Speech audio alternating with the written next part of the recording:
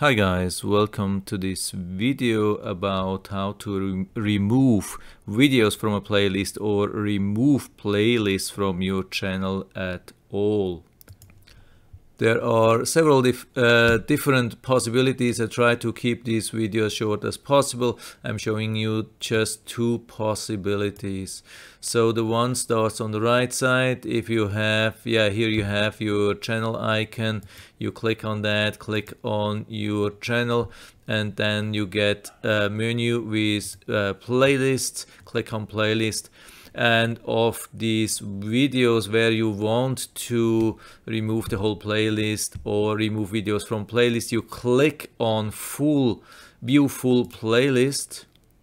And here uh, there are the videos in this playlist. If you want to remove one you click on this menu and click on remove from yeah this uh, playlist of course. If you want to remove the whole playlist it's a little bit difficult to find. It's here. It's for some reason, I don't know why. It looks like you want to edit something from your channel. It is not. It's just this playlist. You click on edit here. And yeah, I have to wait a little bit. And then we find here, uh, this is my playlist, the name of the playlist. Here we have more and then we can delete on playlist and I can uh, click on delete. Yes but you can't uh, undo so I don't do that here.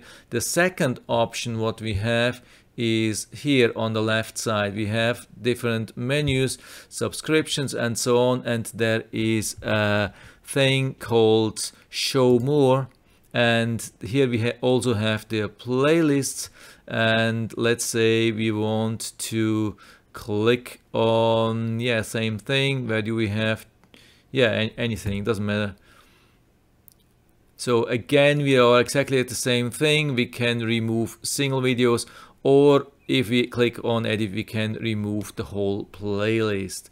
So that's it for now. I hope i was able to help you a little bit with that. If you have any questions or comments just write to the comment section below and i'm always happy to talk about these things. And if you like the video give me a thumbs up subscribe my channel. Thanks for watching and see you next time